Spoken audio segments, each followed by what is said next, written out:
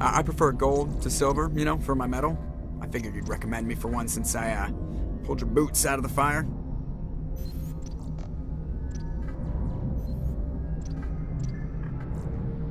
If we present you with a medal, you'll end up sitting on stage listening to politicians make speeches for a couple of hours. Fun, fun. That's a good point. They'd probably make me shave, too. I spent the last seven weeks working on this baby. No medal's worth that. So, Commander, why don't you tell me why you're really here?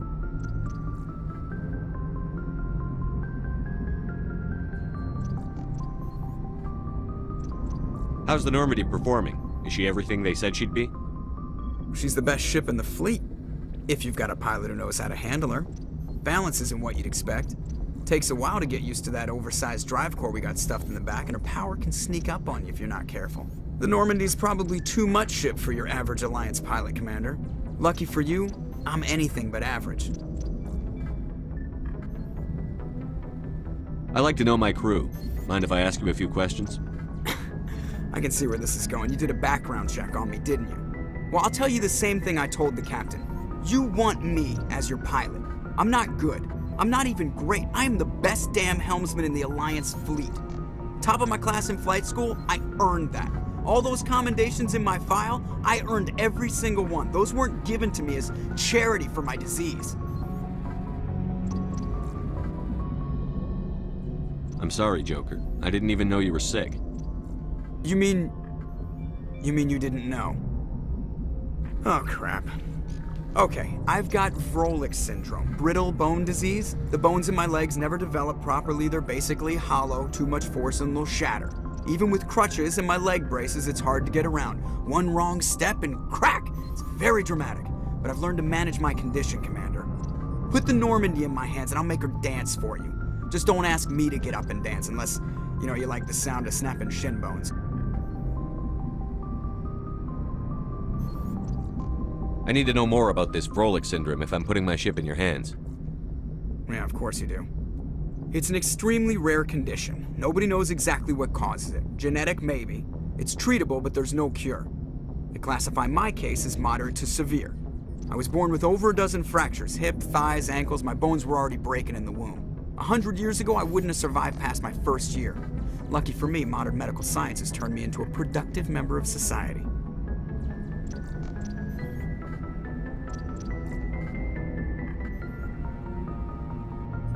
You're not gonna break a bone trying to fly the ship, are you?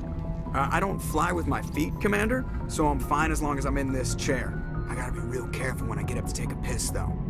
I can do my job as well as anyone on the ship. Better, actually. So don't worry about it.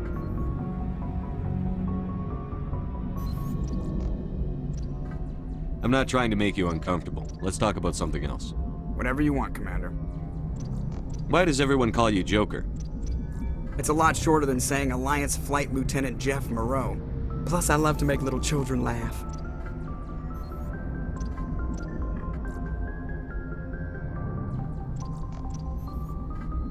You're dodging the question. Look, I didn't pick the name. One of the instructors in flight school used to bug me about never smiling. She started calling me Joker, mm, and it stuck. Why didn't you ever smile? Hey, I worked my ass off in flight school, Commander. The world's not gonna hand you anything if you go around grinning like an idiot. By the end of the year, I was the best pilot in the academy, even better than the instructors, and everybody knew it. They'd all got their asses kicked by the sickly kid with the creaky little legs. One guess who was smiling at graduation?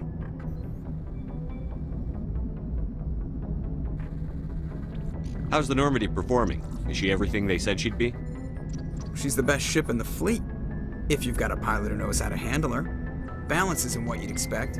Takes a while to get used to that oversized drive core we got stuffed in the back, and her power can sneak up on you if you're not careful. The Normandy's probably too much ship for your average Alliance pilot, Commander. Lucky for you, I'm anything but average.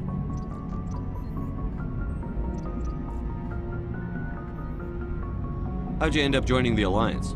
Look, if you're looking for an inspirational tale of the crippled kid overcoming impossible odds, you're gonna be disappointed. My mother was a civilian contractor working for the Alliance. I basically grew up on the Arcturus station back when they were building up the fleets. Spend all that time around Alliance ships, there's a good chance you'll end up going to the Academy.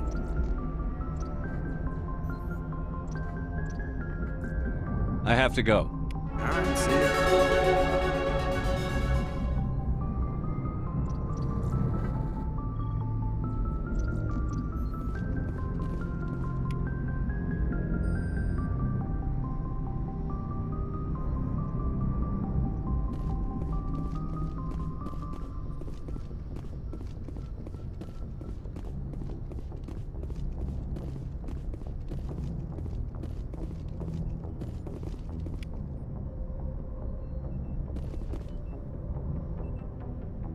If anyone has to take over for Captain Anderson, I'm glad it's you. I'm not sure about having non-humans on our ship, though.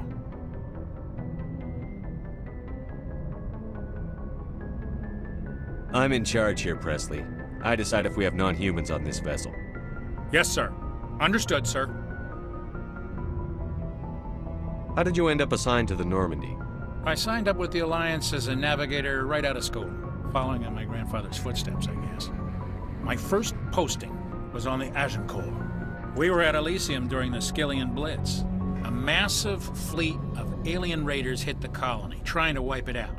They had the numbers, but their ships were no match for an Alliance frigate. It was a slaughter. We couldn't even keep track of how many ships they lost.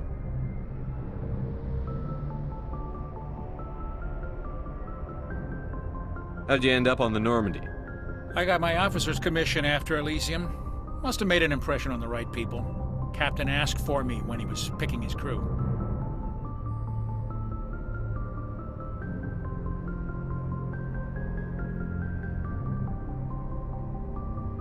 Speak freely, Pressly. I want to know if you have a problem with non-humans. It's not that, Commander. Humanity has always handled its own problems. Saren attacked one of our colonies. We should be the ones to stop him. We don't need their help.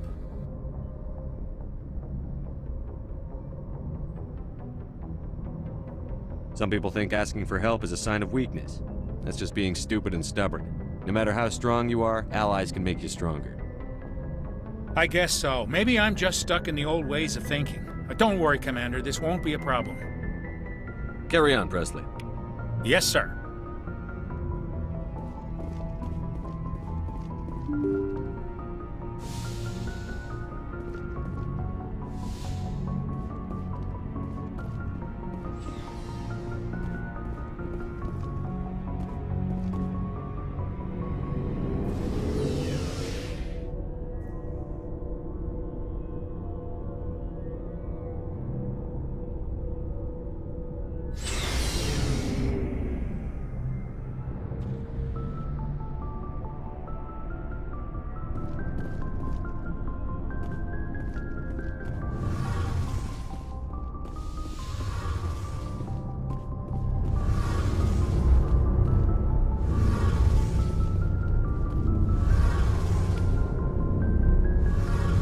Commander, you know that Quarian, Tali?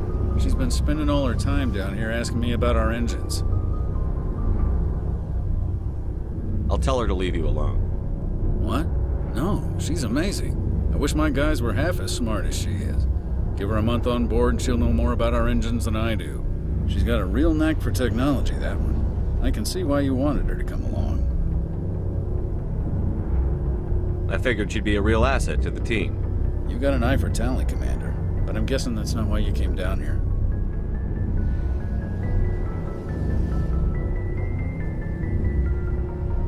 Fill me in on the IES stealth systems. How does it work exactly? You can't hide a ship out in space. They emit too much heat and radiation, too easy for sensors to pick them up, unless you find a way to capture those emissions. So our stealth systems trap the energy we give off in storage sinks built into the ship itself, no emissions to give away our location. Eventually the sinks have to be vented. More than a few hours silent running and they overheat, cook us inside our own hull. There's no way for anyone to detect us? A visual scan can still pick us up. Anyone looking out a window can see us plain as day. But you have to be pretty close to get an actual visual out in space. Most vessels rely on scanners. As long as the stealth systems are engaged, they can't see us. Not unless we accelerate to FTL speeds. Why doesn't it work with faster than light travel? Cranking up the FTL blue shifts our emissions, pushes them into frequencies too high to capture in the sinks. As soon as we make the jump, it's like setting off a flare. Sensors can pick up our location whenever we enter or exit FTL flight, but for short range missions, our stealth systems are amazing, and we've got the only one. I want to know more about the Normandy. She's the best ship I've ever served on, probably the fastest vessel ever designed. And she's the only one using the new Tantalus drive core.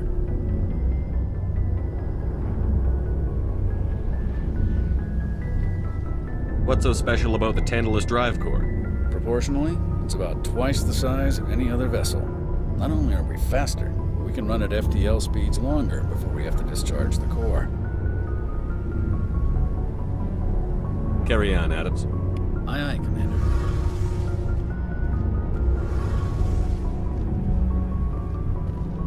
Your ship's amazing, Shepard. I've never seen a drive core like this before. I can't believe you were able to fit it into a ship this small. I'm starting to understand why you humans have been so successful. I had no idea Alliance vessels were so advanced.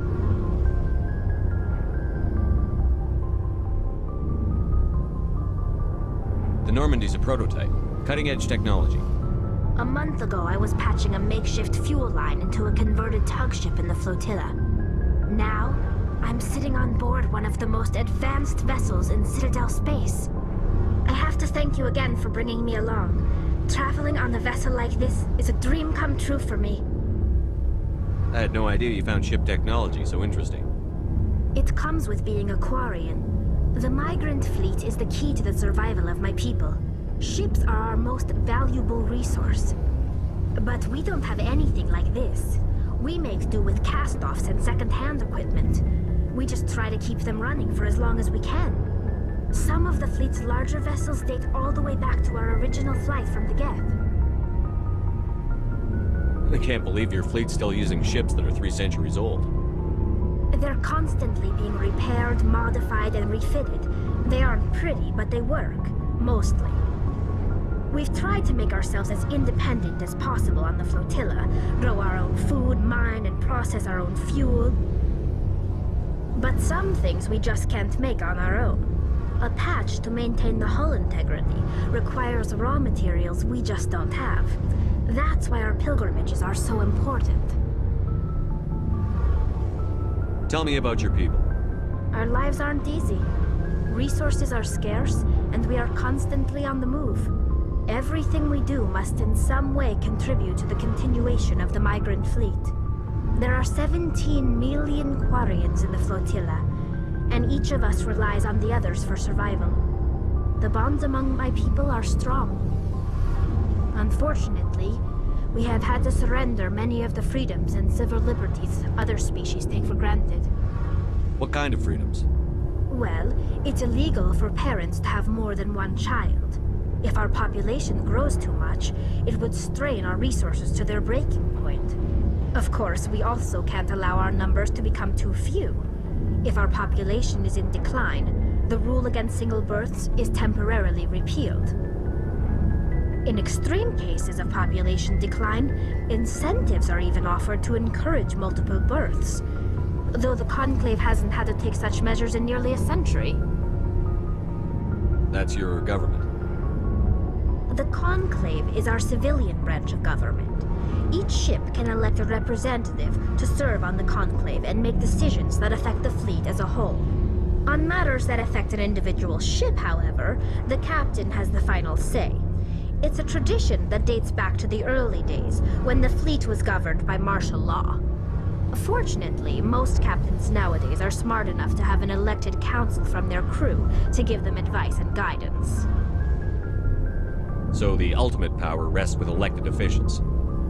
In practice, the Conclave and the respective council for each ship tend to set the rules that govern our daily lives. But in theory, we are still under military jurisdiction.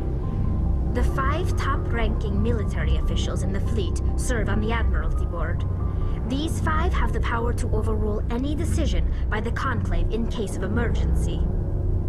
To do so requires unanimous agreement among the Admiralty, and they can only do this once. After that, the entire board must resign their posts. It's a safeguard that served us well.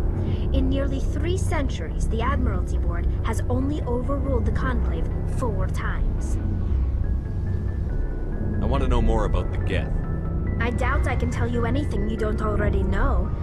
It's been almost three centuries since they drove my people into exile. All I know is the story of their origins. What they were when we created them, and how they turned on us. Interesting. The Geth were originally created to serve as an automated manual labor force. Initially, their intelligence was as limited as any VI. Over time, we made small modifications to their programming to allow them to perform more varied and complex tasks, bringing them closer and closer to true AI status. How come the Council didn't step in and stop you? This wasn't true AI research. We may have been skirting the bounds of the law, but we never did anything that was actually illegal. The changes were so insignificant, so gradual, that we were able to control them. Or so we thought. But one thing we underestimated was the power of the neural network. A million Geth thinking simultaneously created an inherently unstable matrix. So, the Geth share brain power? Many of the Geth's logic systems were designed to work in concert with other nearby Geth. Basically, the more of them you have in a group, the smarter they are. So there's some sort of group consciousness. No, nothing like that. They cannot share sensory data or information. Their programming cannot handle that much simultaneous input. Each Geth maintains an individual awareness and identity. The neural network only operates on a process-based level. It's basically the synthetic equivalent of a subconscious. But when they're in close proximity, they can coordinate low-level functional processes, freeing up more capacity for original or independent thought. That doesn't make any sense. I'm probably oversimplifying. The Geth are incredibly advanced and complex creations. All you need to know is that they get smarter when they gather in large numbers. As we built more and more Geth, their effective intelligence became more sophisticated, more abstract. One day, a Geth began to ask its Quarian overseer questions about the nature of its existence. Am I alive? Why am I here? What is my purpose? As you can imagine, this caused a near panic among my people. I don't see what's so bad about those questions. The Geth were created to engage in mundane, repetitive, or dangerous manual labor. That's fine for machines, but it won't satisfy a sentient being for long. The Geth were showing signs of rudimentary self-awareness and independent thought. If the Geth were intelligent, then we were essentially using them as slaves. It was inevitable the newly sentient Geth would rebel against their situation. We knew they would rise up against us, so we acted first. A general order went out across all Quarian-controlled systems to permanently deactivate all Geth. The Geth responded to this order violently.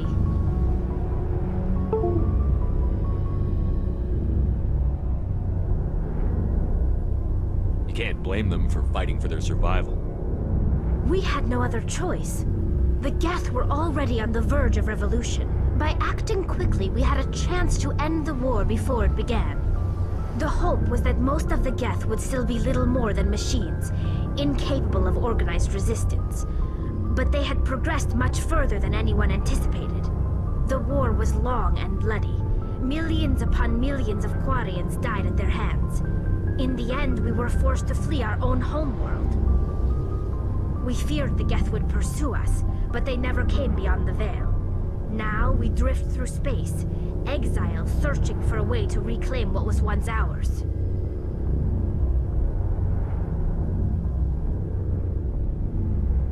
It's hard to feel sorry for you. Your ancestors tried to wipe out another species. We made a mistake when we created the Geth in the first place. But we did not make a mistake when we went to war against them. If we had not acted, they would have wiped us out. They're a synthetic life form. They have no use for organics. None. Why do you think they cut themselves off from the rest of the galaxy?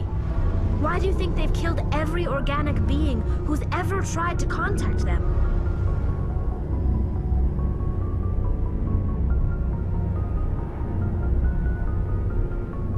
You make a good point. I'm sorry. I didn't mean to get so worked up. Most Quarians tend to have pretty strong opinions about the Geth. Want to know more about the pilgrimage. When my people reach maturity, we leave our birth ships and seek acceptance with a new crew. It's necessary to maintain genetic diversity among the fleet. But no ship wants to accept someone who will be a burden on them. So, to prove our worth, we embark on a pilgrimage. We set out alone, leaving the flotilla and our families behind us. We only return once we have found something of value we can bring back to the fleet. This is presented as a gift to the captain of the respective ship we wish to join. If the gift is accepted, we are welcomed into the crew.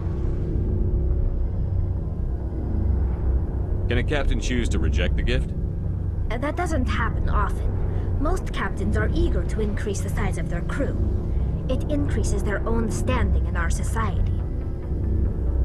Even when a gift is not particularly valuable, the captain usually accepts it out of a sense of tradition. However, there is a stigma to presenting a substandard gift. It's not the best way to make a good impression on a new community. Most pilgrims don't return until they find something worthwhile.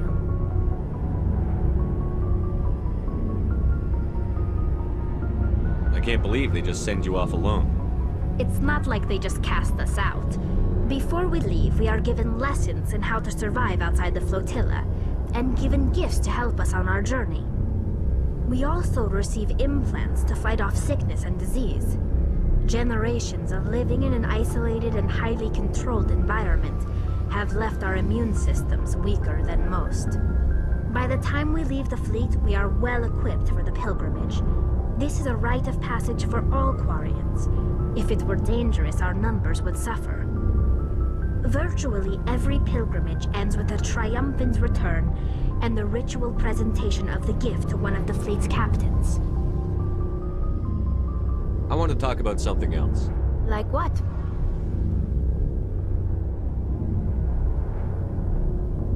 I should go. See you later.